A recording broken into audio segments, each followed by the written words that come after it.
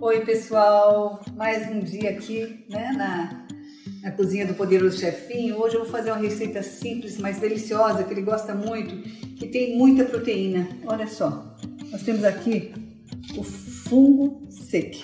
Você já ouviu falar o fungo sec, né, como dizem os franceses?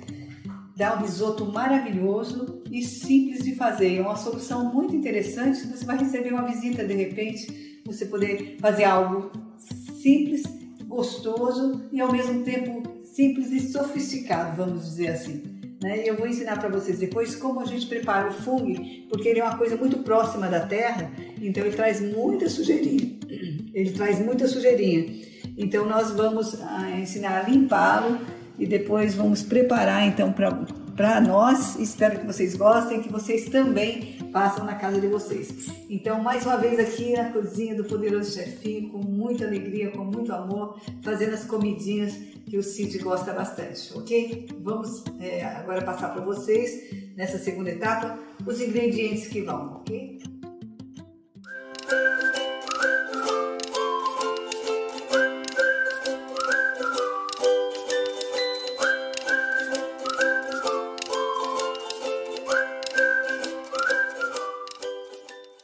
Então, pessoal, depois de ter apresentado para vocês a proposta de hoje, né, o risoto de fungo, eu estou com material aqui, vou mostrar para vocês como é que nós vamos fazer. Olha só, esse arroz aqui, hum, nós vamos pesar 200 gramas, olha.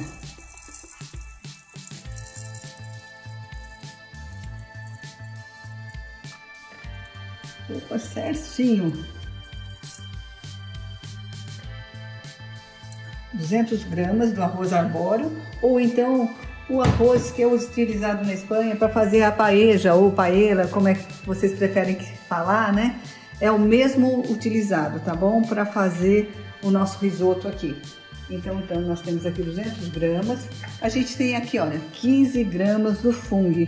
O meu fungo já está lavado, já, já passou pelo processo de cozimento para ficar macio, né? Mas eu vou mostrar para vocês como é que a gente faz para limpar, porque isso daqui ele vem muito próximo da terra, é uma proteína fantástica que fica muito próxima da terra, então sempre tem uns pedregulhinhos e para não ter o desprazer na hora de estar tá comendo, de ter algum tipo de coisa dessa, eu vou falar para vocês como é que a gente faz a higienização daqui a pouco, tá bom?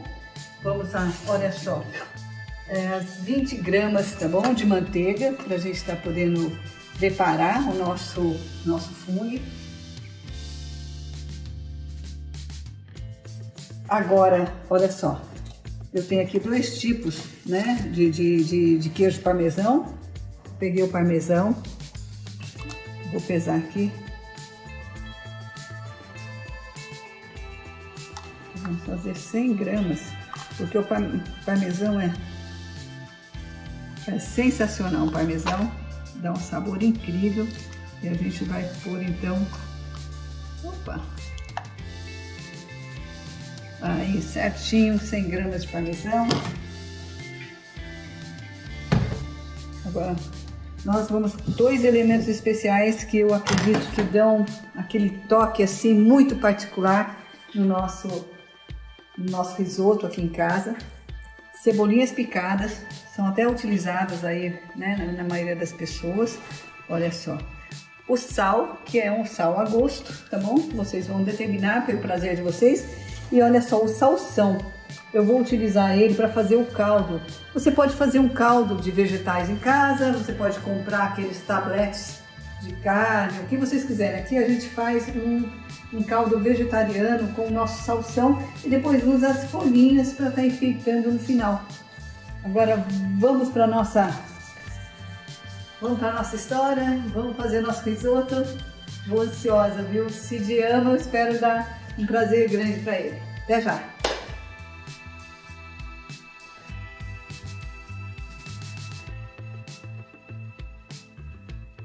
Enfim, pessoal, vamos ao preparo. Ó. A gente começa cortando a nossa cebola em cubinhos, que a gente vai refogar ela com a manteiga que a gente separou, tá bom?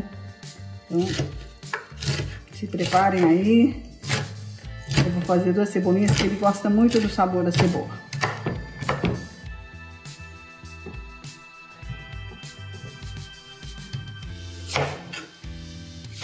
Nós vamos deixar, vamos refogar a cebola. Quando ela estiver no ponto, vamos colocar o caldo do fungo e vamos é, colocar o arroz para cozinhar. A gente vai refogar ele no, a gente vai refogar ele no, no caldinho do fungo e do salsão. Eu já coloquei uma salada lá, já coloquei uma água para ferver, para poder ficar preparado para a gente cozinhar o nosso arroz depois que ele for refogadinho.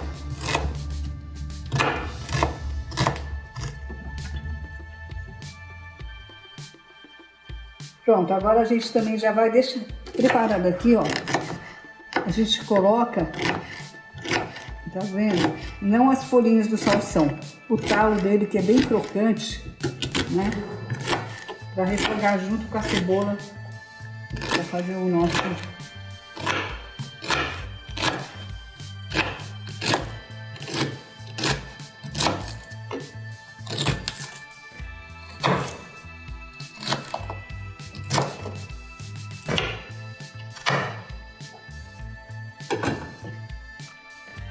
Então vamos a nossa panela já está preparada aqui. Depois vocês podem ver o, o fogo está baixo, vou pôr um pouquinho mais normal. Ela já vai reagir rapidinho por conta disso.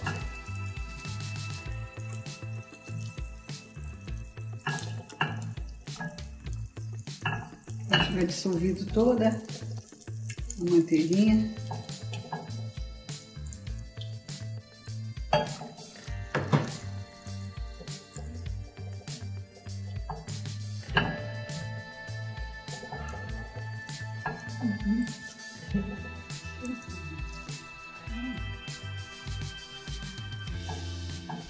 A manteiguinha toda dissolvida, então agora nós vamos pegar primeiro a cebola.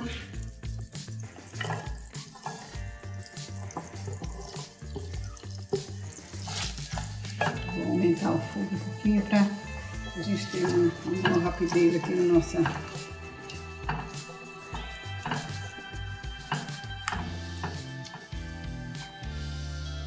Olha só, a cebolinha já no ponto, nem muito dourada. Dá uma murchadinha assim, né? Nós vamos colocar delicioso o alho poró, desculpa, o salsão. Nosso salsãozinho aqui, crocante. Um punhadinho de sal, porque isso aqui é muito particular, né, pessoal? Cada um põe o tanto que acha melhor. Olha só. E nós vamos refogar junto com isso o nosso arroz.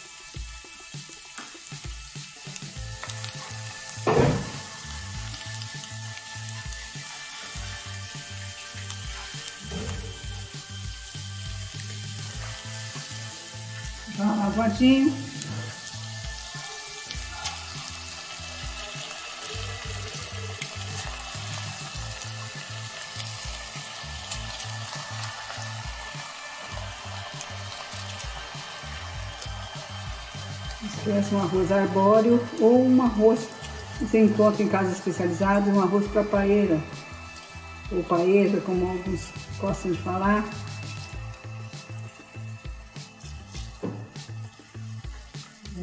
Tudo. Vamos ver se sai esse nosso risoto aqui maravilhoso, hein?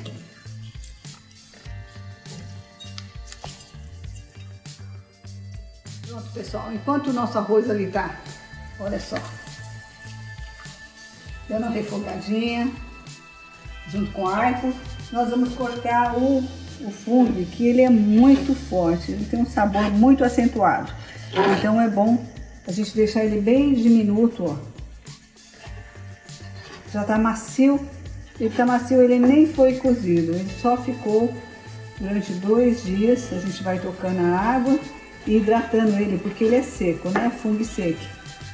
E, mas já tá macíssimo, olha só, para usar. Como ele é muito forte, por isso essas 15 gramas. A água dele, olha só.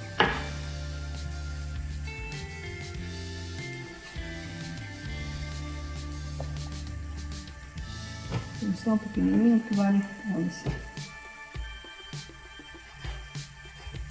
Nós vamos pegar então esse tanto de fungo e despejar lá. Vamos misturar.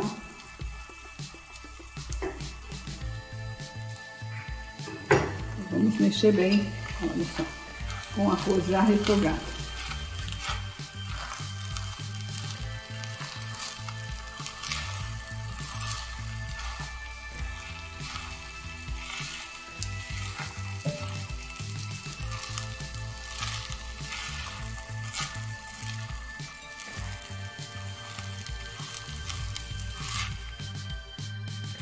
Olha só, agora que nós já estamos todos os ingredientes, aliás, os ingredientes principais já aqui refogados na panela, nós vamos utilizar essa água do fundo para dar aquele sabor.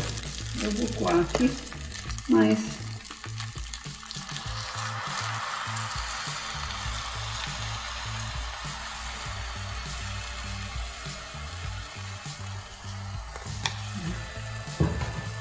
primeira etapa.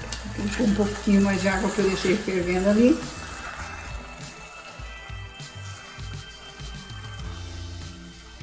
Vou aumentar um pouquinho o fogo. Olha só. Então, já tá na fervura. Olha só, uma das últimas etapas, nós vamos pegar a água que eu já deixei fervendo aqui. Duas xícaras proporcional aos 200 gramas de arroz.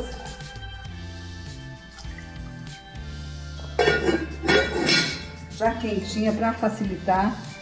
Vamos mexer nesse arroz, olha só, devagarinho.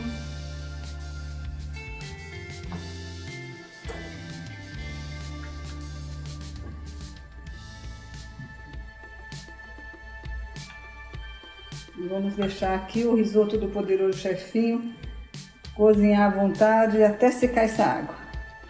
No começo, até ela ferver, nós vamos colocar a tampa dessa panela que é sensacional, ela ajuda com a vaporização a um cozimento melhor. Ela tem um tipo de do estilo das panelas marroquinas, olha só. Então esse vapor aqui volta para a panela mantendo todas as qualidades dos alimentos. Chegamos na nossa reta final aqui, ó. Já está pronto, macio o nosso risoto. Só falta aquele toque final, olha só, do nosso queijo parmesão, né? Isso aqui é fundamental para dar aquele sabor maravilhoso. Eu já liguei o fogo aqui, bem baixinho. Nós vamos misturar tudo aqui, ó. Olha só que delícia que vai ficar. E a última etapa, vocês sabem, eu vou levar o pratinho do poderoso chefinho para ver se ele aprova, tá certo? Olha só. Ele vai formar uma liga aqui, queijo parmesão.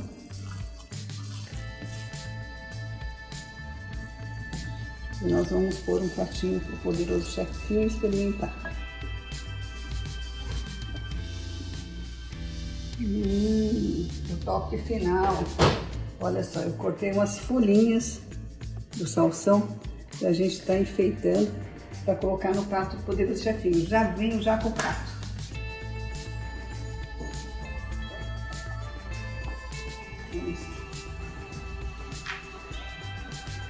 Uma porção generosa, mas sem exagero. Aqui, Vamos levar lá para o poderoso chefinho. Olha, Cid, que delícia! Vamos ver se você aprova o meu risoto de fungo com duas coisas que você gosta, aipo e fungo. Maravilhoso, né? E é isso aí, pessoal. Vamos para a próxima receita, se Deus quiser. E agora vamos ver a opinião do poderoso chefinho, assim, fechando o nosso filme aqui, tá bom? Um abraço, então, até mais. Tá muito bom. Eu não gosto da nota 10, não, mas dou. Parabéns. Fátima.